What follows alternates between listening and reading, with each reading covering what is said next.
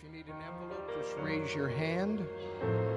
And we will get you an envelope to record your offering. Amen. Psalm 107, the first two verses says, Oh, give thanks unto the Lord, for he is good, for his mercy endureth forever. Let the redeemed of the Lord say so, whom he hath redeemed from the hand of the enemy. Has the Lord redeemed anybody in this house tonight? Oh, give thanks, it says, unto the Lord, for he is good for his mercy endureth forever. Let the redeemed of the Lord say so, whom he hath redeemed from the hand of the enemy.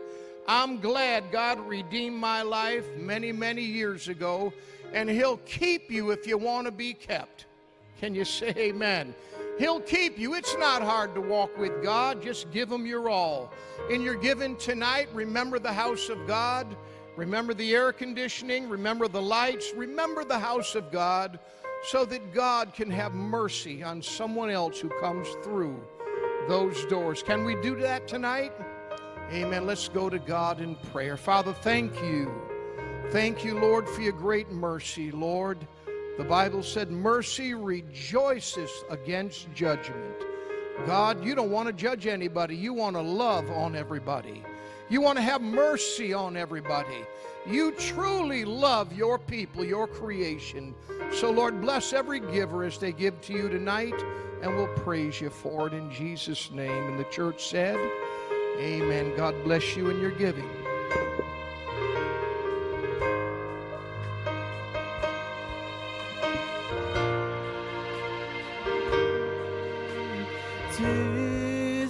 Sweet to trust in Jesus, just to take him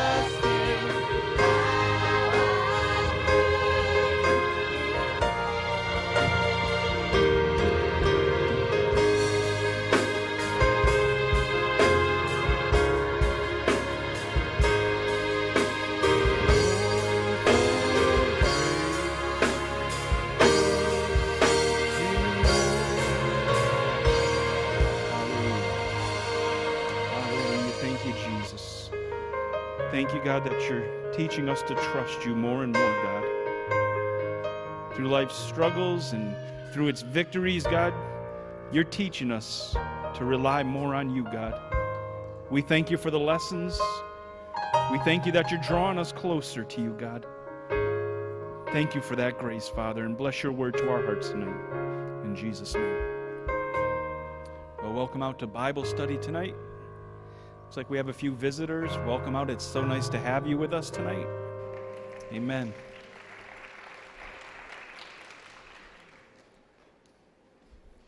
I like that song that they finished with, Oh, for grace to trust Him more. And when I think about the life of Noah, who we've been talking about for a couple weeks now, that's what I see in his life is trust.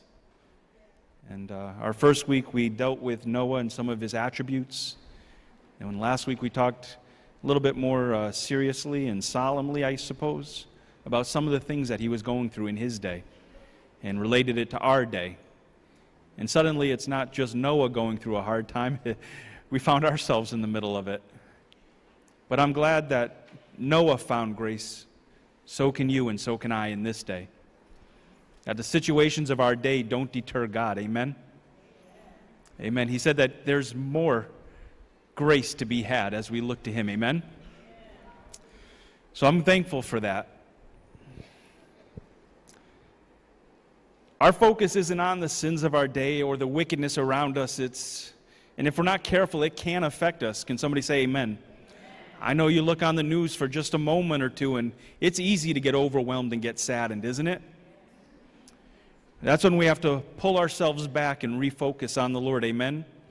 You can get swallowed up in the sorrows of our day to where that's all you see and find ourselves lacking what we need, not only to walk with God effectively, but to reach out to somebody else. Can somebody say amen? The thing that I like about the Bible and throughout the different characters of the Old Testament in particular and the New Testament is the Bible's not careful to hide or gloss over some of their struggles, some of the situations that they found themselves in. And because of that, we can relate, but more importantly, we can find hope because God gave them the strength and the power to get through. Amen?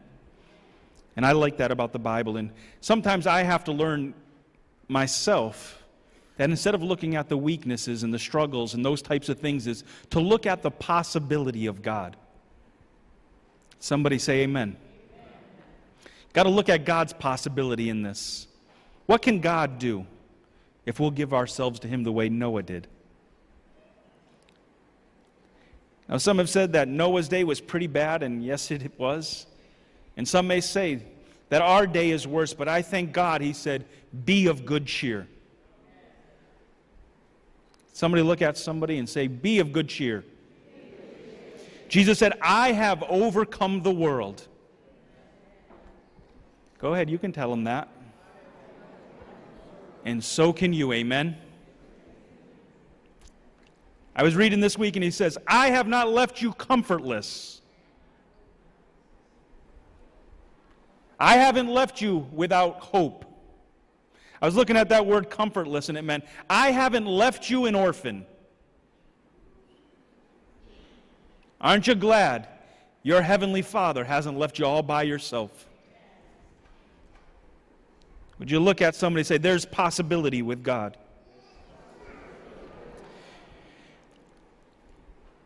At one point, the disciples asked Jesus a question, and Jesus had laid it on, and he just gave it to them straight. And then they said, Lord, who can be saved? And he says, You know, with you it's an impossibility, but with God. But with God, all things are possible. Well, Lord, you don't know what I'm going through, but with God. Well, you don't know what family I came out of, but with God. Sometimes we get like Paul and we view ourselves as the impossibility. But with God. Doesn't matter what side of the tracks you came up. What matters is what side you end up on. Are you on God's side tonight? Amen. Hallelujah. Thank you, Jesus. If you turn in your Bibles with us tonight, we're going to go to Hebrews chapter 11, verses 6 and 7. Hebrews chapter 11, verses 6 and 7. And it's very familiar passage of Scripture and it'll be our main focus for tonight.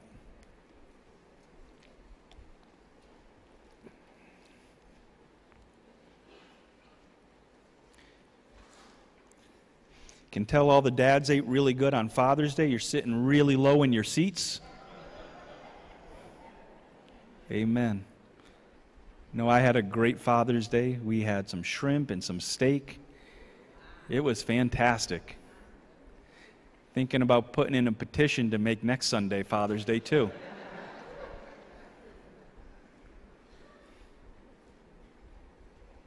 Are you there? Hebrews 11, 6 and 7. It says, But without faith, it is impossible to please him. For he that cometh to God must believe that he is, and that he is a rewarder of them that diligently seek him. Verse 7 By faith, Noah, being warned of God of things not seen as yet, moved with fear, prepared an ark to the saving of his house, by the which he condemned the world and became heir of the righteousness which is by faith. I want to talk for just a moment on this thought, and we'll hit a few other thoughts, key points, but God searched the whole world and he found one person of faith in his family. Out of millions, God found one. Many times I find myself reading the account of Noah and getting overwhelmed by the fact of how many people missed the mark. And it seemed like rejoicing over Noah making it and being successful, it seemed like it felt out of place to me. But I'm glad it wasn't out of place for God. God didn't need 10 million people, God just needed one person. One person to believe in Him, one person to walk with Him. Can somebody say amen? Can somebody say, I want to be that person?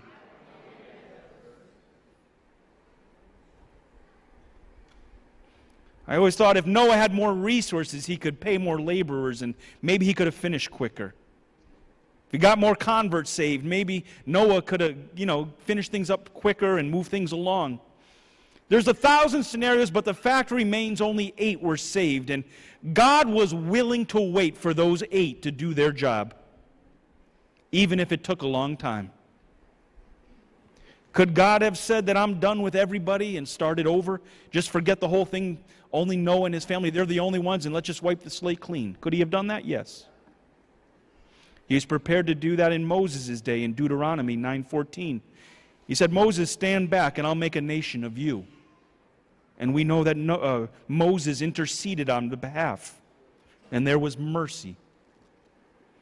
We see an account of another man of God who walked with God and said, God, will you destroy this city if there's 50 just people? And eventually worked them down to 10. The point is, is that God won't deal with the righteous and the unrighteous the same. That there is mercy and grace for those that walk with God. Can somebody say amen? He's a God that can do whatever he wants, but he has a character that he's making plain. Now, I have a great, not a great, I, I better catch myself on that. I have a decent tolerance of pain. You know, that threshold where you can put up with a little bit. Well, about two weeks ago, I spent my Saturday night in the emergency room. I got into a tangle with my electric hedge clippers and I lost.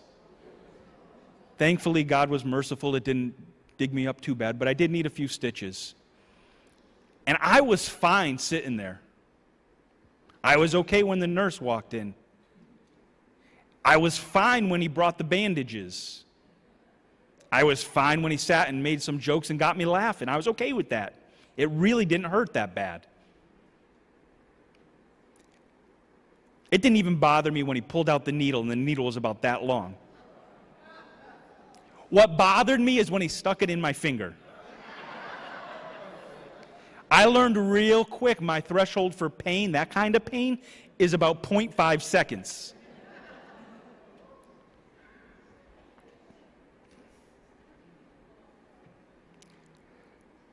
then I wanted it to be over in a hurry. But God has a different threshold than my threshold. And in this day, God's heart was saddened and in pain over what had happened to his beautiful creation. But we'll read in 1 Peter 3:20 and you can jot down 29 if you're a note taker.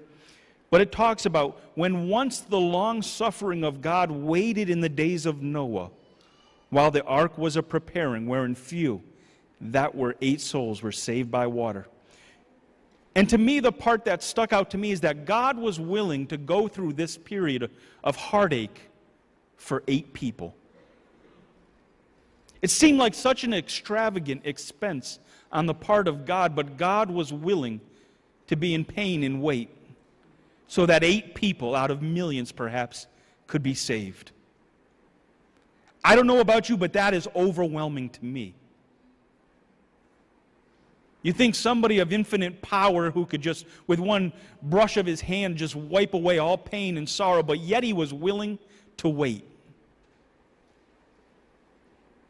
Why would God go through all of this for just one person and his family? We already sang it tonight. Oh, how he loves us. For God so loved the world.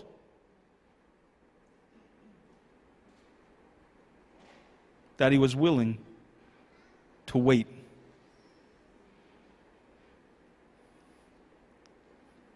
Second Peter 2 9 says, The Lord knoweth how to deliver the godly out of temptations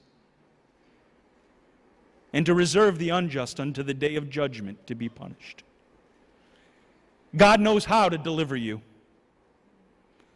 As I was looking at this word deliver, thinking about Noah, I couldn't help but get excited when I seen the, the, the meaning of this word. It says, to draw to oneself.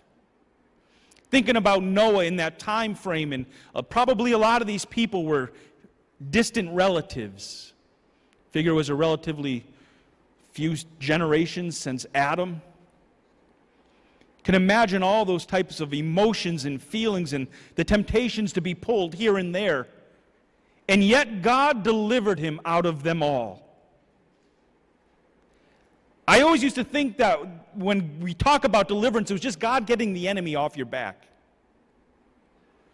But it meant that God pulled him to himself. Like a father who pulls you to himself, God will pull you to himself.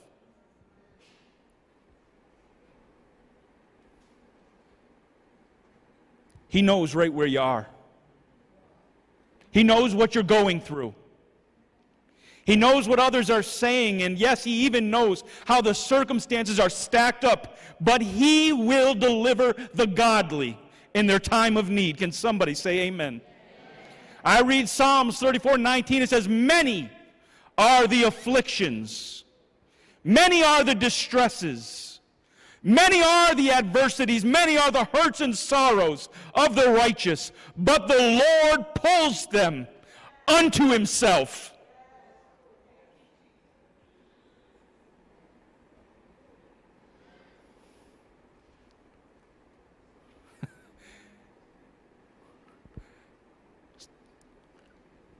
Right in the middle of Noah's day, God showed up.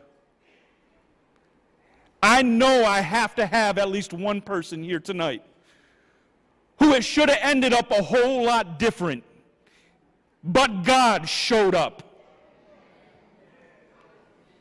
I know your story would read differently tonight if it wasn't for that one night the answer came right on time. Yeah, yeah, yeah, yeah. I know, I know I know the story could be different, and maybe I'll understand it by and by. But can I tell you, I'm thankful for that night he showed up on my behalf. I almost let go, but thank God. Thank God he wouldn't let go. Thank God he wouldn't let go when I couldn't hold on or so it felt. It could have been a lot different. But the Lord pulled us to Himself.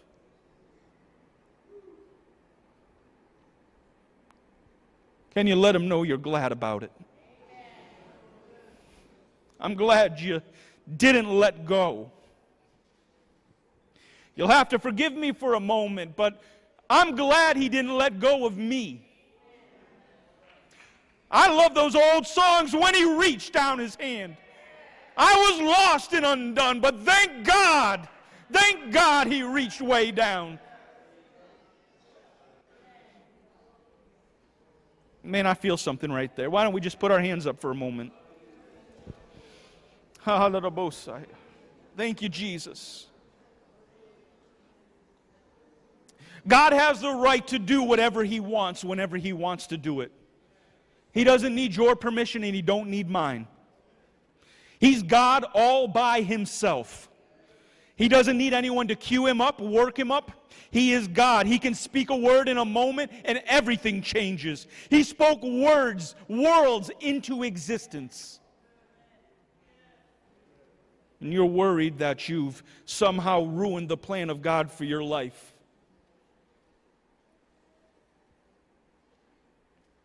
How interesting that you think God's plan is that fragile and you're that strong.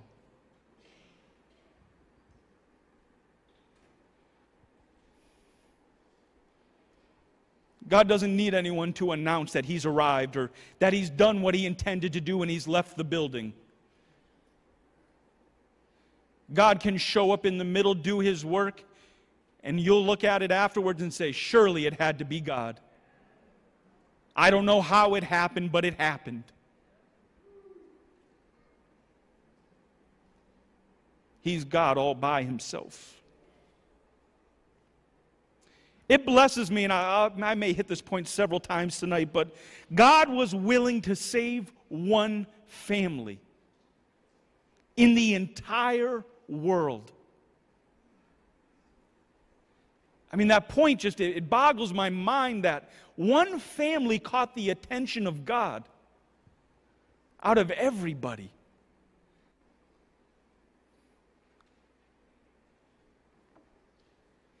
He won't forget his promises to you. He won't forget your labor of love and faithfulness.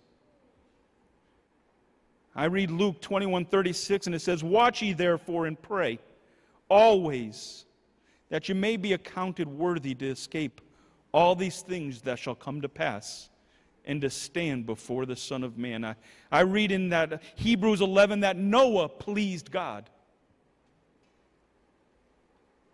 Have you ever found that there's some people you just can't please? No matter what you do? Trying to please them is like trying to hit a moving target. It's here, it's there, it's there. When you get there, it's there. But I'm glad God's not like that. God can be pleased. God can be pleased. Would you look at somebody seeing that? I, I, maybe the mic stopped working. Can you look at your neighbor and tell him, God can be pleased? Would you say this uh, to them? God can be pleased with you.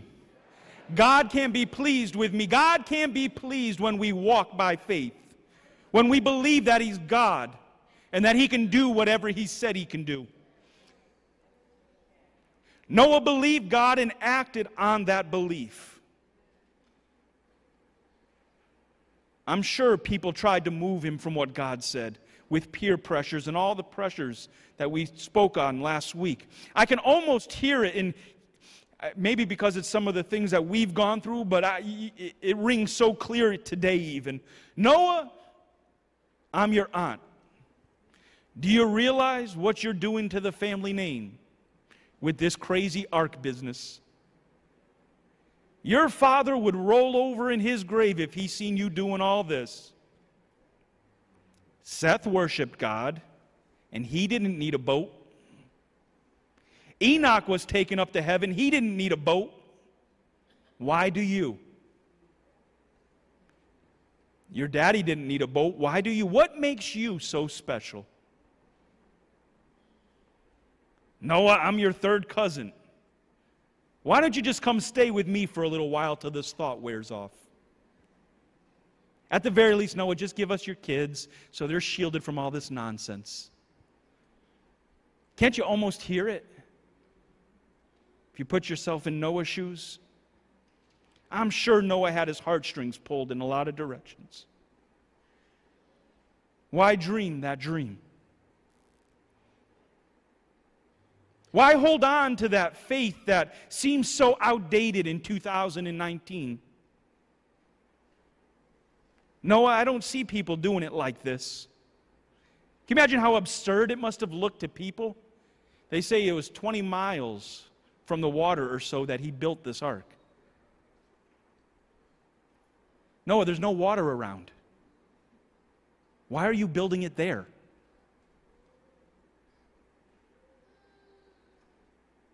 Noah, why are you talking this way? Noah, why don't you just come and spend a little more time with us? But Noah loved God and kept the faith that was given to him no matter what. I got in my office this afternoon and was that word, just those three words, no matter what. There are a lot of things you can fit into those three words. Noah loved God no matter what. This is why he was a hero. That anchor it holds. I was thinking of the old song Sister Chris used to sing about the old ship of Zion. It's been through the storms. Oh, yes. And I don't know the word, so I kept saying that one part over and over. I kept saying, oh, yes. But one of these days, that old ship is going to move up a little higher. Hallelujah. No, sir, this world's not our home. And if I get too excited right here, I'm going to preach next week's message. 1 Corinthians 2 9 and 10, it says, But as it is written, eye hath not seen, nor ear heard, neither have entered into the heart of man the things which God hath prepared for them that love him. But God hath revealed them unto us by his Spirit. For the Spirit searcheth all things, yea, the deep things of God. God found one man. And for that man, God had prepared a plan, even in the middle of that sinful day. That famous scripture in Jeremiah 29 11 says, For I know the thoughts that I think towards you, saith the Lord. Thoughts of peace and not of evil, to give you an expected end. God had thoughts of peace for Noah and an expected end. But Noah had a job, a plan he had to follow. And his plan, his job was to do this to take the invisible things in the heart of God and make them a living reality.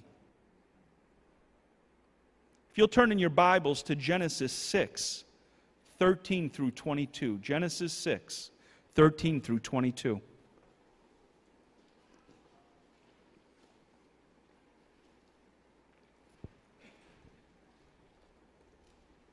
God had a specific plan for Noah.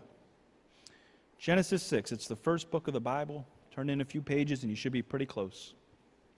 We're going to get started reading. And God said unto Noah, The end of all flesh is come before me, for the earth is filled with violence through them. And behold, I will destroy them with the earth.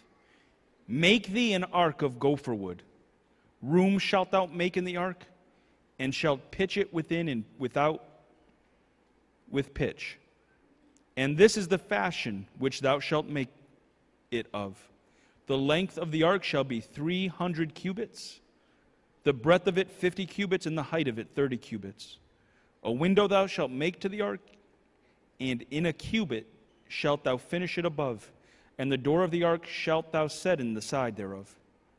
With lower, second, and third stories shalt thou make it. And behold, I, even I, do bring floodwaters upon the earth to destroy all flesh wherein is the breath of life from under heaven, and everything that is in the earth shall die. But with thee, but with thee will I establish my covenant, and you shall come into the ark you and your sons, and your wife and your sons' wives with you, and of every living thing of all flesh, two of every sort shalt thou bring into the ark to keep them alive with thee. They shall be male and female, of fowls after their kind, and of cattle after their kind. Of every creeping thing of the earth after his kind, two of every sort shall come unto thee, to keep them alive. And take thou unto thee of all the food that is eaten, and thou shalt gather it to thee, and it shall be for food for thee and for them. Thus did Noah, according to all that God commanded him, so did he. So it seems that God's plan was pretty clear and specific. Amen? I've got a bit of trivia for you guys right here. How many sets of clean animals did God tell him to bring into the ark?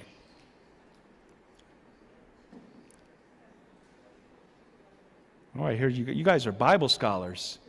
I thought I was pulling a fast one on you. For those of you who don't know it, you look it up. You'll see it. If you say it's one pair, that's not quite the correct answer. Oh, somebody just spoiled it. Somebody just gave us the cliff notes. It's seven pair. So God sent seven pair for food and for sacrifice. Some people believe that that's where unicorns went extinct, is they ended up going on the deck where the carnivores were, and that was the end of them. We'll have to read between the lines on that one. But the ark was about 450 feet. And it was about 75 feet wide and 45 feet high. Imagine this. This is what God is describing to Noah. But Noah's got to see this vision in the heart of God. And then he's got to build it. The one thing that was interesting to me when you look at the ark, there was never a rudder or a sail, there was never a steering wheel. Now, if I was a preacher right here, I might go ahead and say something along the lines that when he got in the boat, he just had to go where the current went. If I was going to preach that, maybe I would say sometimes you just have to go where the Spirit leads you. You don't always get to choose where you go. Noah, you're not going to be able to control this thing. Wouldn't it be great if God gave us a steering wheel on a lot of things in life? Might be some people we avoid, some situations we get away from. But there's some things that God says, you know what? You're not going to be steering this situation. I am. You're just going to have to trust me through it. Can somebody say amen? I heard Reverend Teachman share on one of his posts online about hearing the voice of God, and it was too good not to include here. How you have to seek Him until you hear His voice specifically and clearly for your life.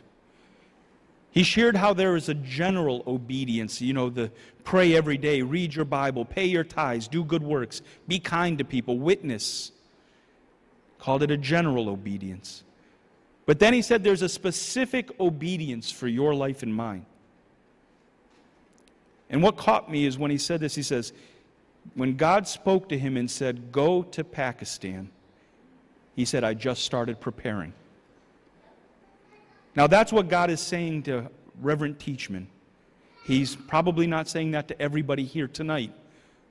But it doesn't change the point that God has a specific plan just for you and I. And we need that same leading of God for our lives. Can somebody say amen? A little while ago, the Lord woke me up early in the morning and because my tendency is to always look at what time it is to see how much time I have left to sleep. I knew it was at 1:46 in the morning. But he started to speak to me out of Hebrews about something in my life. Now it wasn't big in terms of theology or revelation, but it was something very practical. And it was right what I needed in that moment. And since I've started doing what he told me in that night season, I've noticed his presence so close.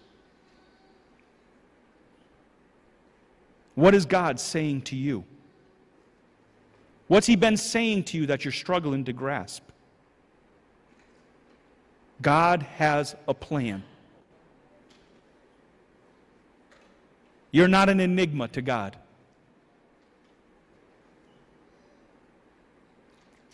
I know the enemy may have told you you're unworthy, that you don't have the right stuff, whatever that means. Just remember this novices built the ark, and professionals built the Titanic. God knows what He's doing.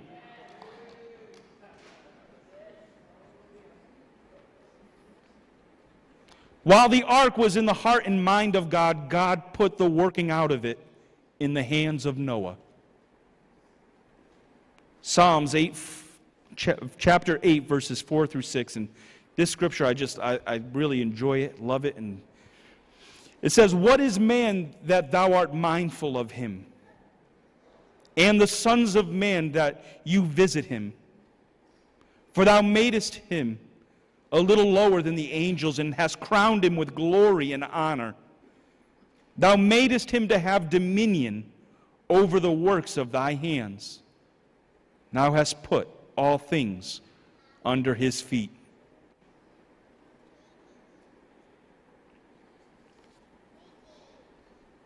God hasn't given you and I gopher wood and pitch to work with today. But He has given us His Spirit. And He has put us around people who need us. Can somebody say amen? I was reading something, and this is just a little add in. In Luke 24 39, Jesus invited Thomas to identify him by no other way than looking at his feet and his hands. And in our day, Jesus tells the world that they can identify him in us by looking at his hands and feet. Julie, Juliana, just amen, daddy. Thank you, honey. The world can identify Christ in the church by looking at our hands and feet. So God had his man, God gave him a plan. And then lastly, God gave him time. Genesis 6 3, if you remember, we quoted this last week, but there's a point that I, I want to bring out, and it says, And the Lord said, My spirit shall not always strive with man, for that he is also is flesh. And this is the part that jumped out me. Yet his days shall be an 120 years. Now, I've always read this that God was shortening everyone's lifespan. At that time, you know, Methuselah was 970 or 80 years old. I mean, they lived a long time.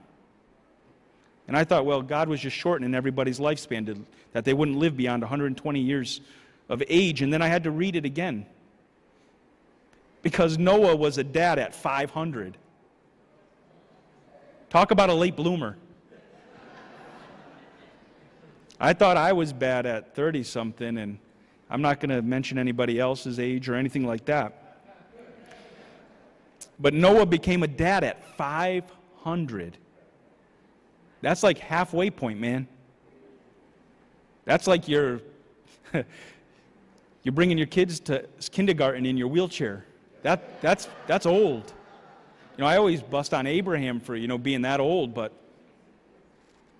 Noah wasn't a spring chicken. So he was 500 years old when he had his kids, and then he lived after the flood 350 years in Genesis 9:28. But the first child born after the flood was a guy by the name uh, I'm going to mess this up. Arphaxad. It's A R P H A X A D. And he lived for 938 years. If you look at Genesis 11 verses 11 and 13. So if God was capping the years of people's lives, we probably would have seen it in this fellow's life, right? That's just using a little logic, right? Would you agree with that? In modern times, it's uncommon for anyone to reach 120 years of age. I actually went and looked at the, the world record, the Guinness World, and the oldest person made it to 119 in like 1825. So hitting that 120 mark seems to be something now, but not back then. Which got me thinking that maybe that 120 years was God telling Noah, You have 120 years until the flood comes. So work. God had given him a countdown. I was watching uh, the highlights from the NBA Finals or the championship game of a real star player. His name's Kawhi Leonard. And he hit this game seven winner that was one of the most amazing shots that I've ever seen. With seconds falling off the clock, he fell away, falling out of bounds, and hit this three pointer to win the game. It's the shot that every, every person who plays basketball practices.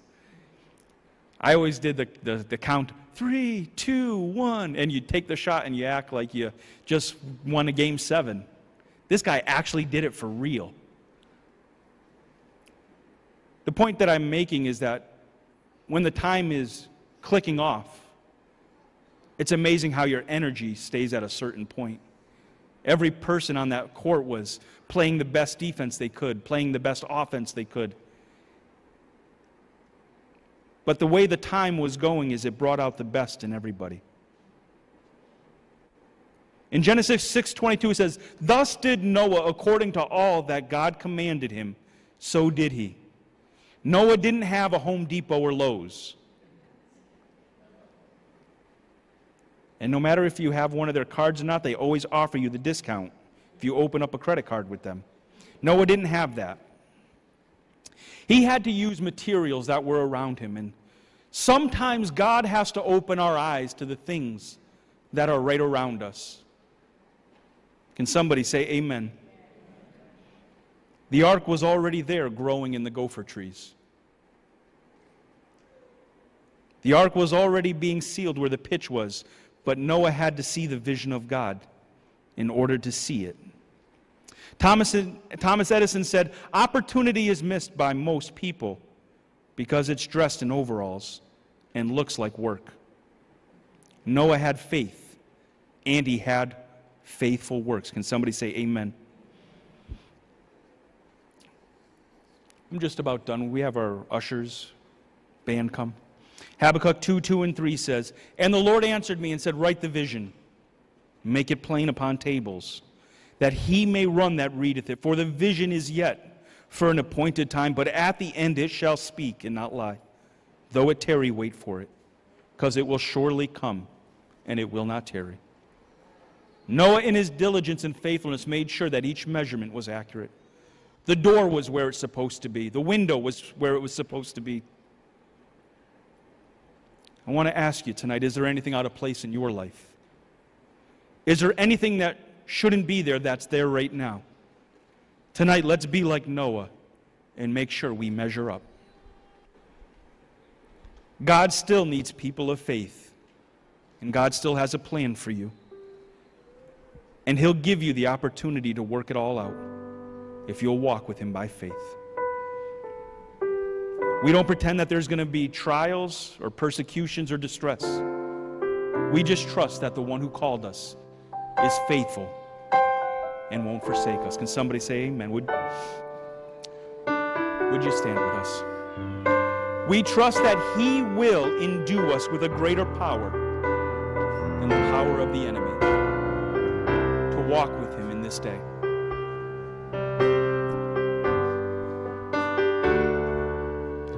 Tonight, if the Word of God's touched you and you're unsaved and you'd like to make a dedication of your life to the Lord, I'd like to open up the altar for you to have that opportunity.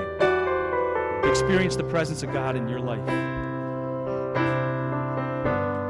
Our ushers here down front will be more than happy to pray with you and introduce you to our great God. As our singers come and start singing, to give you just a moment anyone making a decision if you're away from the Lord? Or if you need to be strengthened, or even if you just have a need? Would you come and draw close to God if He's here for you tonight? God bless you.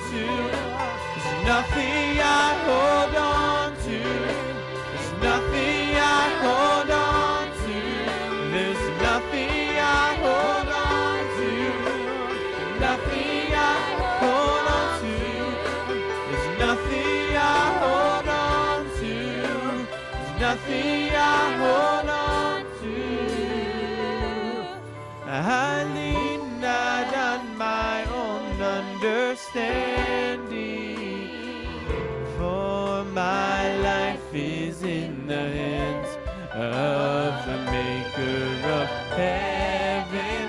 I lean not on my own understanding,